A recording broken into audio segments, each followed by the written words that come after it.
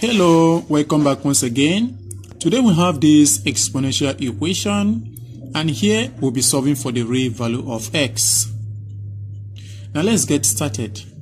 From the right hand side we have 4 to the power of x. Remember this is equal to 2 to the power of x plus 1 to the power of x.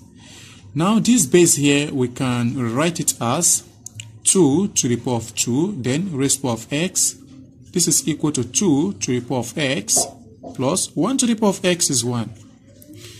Since x is real, therefore 1 to the power of any real number is 1, right? Now let us take note of this property a to the power of b to the power of c. We can write as a to the power of c to the power of b. So here this will be 2 to the power of x to the power of 2.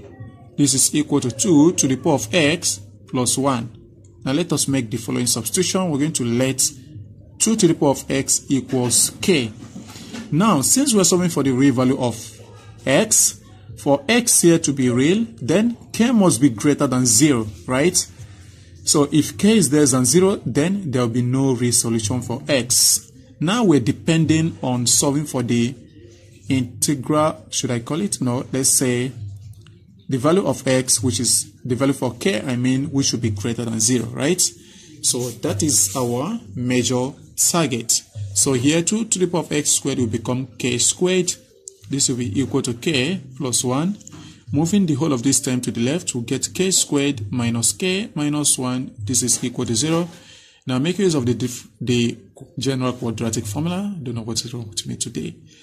So here, remember k will be equal to negative b plus or minus square root of b squared minus 4ac then divided by 2a and here a is equal to coefficient of the leading term which is 1 b is coefficient of k here which is negative 1 and c is equal to negative 1 and solving for k we get negative b is 1 plus or minus square root of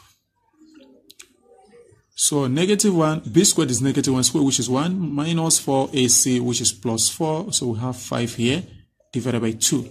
So this is equal to 1 plus root 5 divided by 2, or 1 minus root 5 divided by 2. This is obviously less than 0, therefore we don't need this. Remember, k must be greater than 0, and obviously the golden ratio is greater than 0, which is approximately equal to 1.618 if I'm not mistaken, right?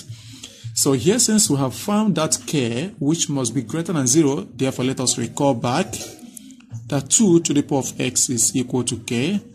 So replacing k with the golden ratio, we get 2 to the power of x is equal to 1 plus root of 5 divided by 2. Now, at this point here, we're going to make use of the logarithm. So let us log both sides. So we have the log of 2 to the power of x. This is equal to the log of 1 plus root of 5 divided by 2. Now let us take note of the following properties of logarithm. The log of a to the power of b is equal to b multiplied by the log of a. And also the log of a divided by b is equal to the log of a minus the log of b. So here, this power coming down here, we get x times the log of 2. This will be equal to, that will become log of 1 plus root 5 minus log of 2. Remember, our log here is in base 10, right? So now, since we're solving for x, let's divide both sides by the coefficient of x. So if we divide throughout by log 2, we can still split the denominator as this divided by log 2 and this divided by log 2, right?